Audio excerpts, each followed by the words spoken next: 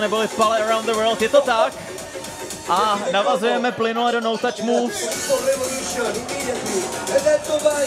Na střídačku levá, pravá. To je nádhera. No, diváci vstávají, asi se jim to líbí. To provedení je neskutečné a to kombinace je dá se říct nekončící.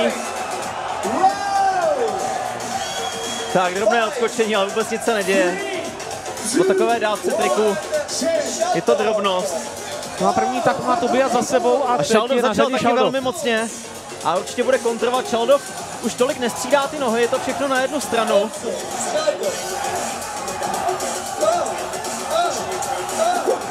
No zatím se mu ty nohy nezamotily, tak je to dobré. Je to škoda, že tam nevidíme tu alternativu pravé a levé nohy. Nicméně to kombo je možná o něco delší. Je to tak a hlavně je bez padnutí na konci.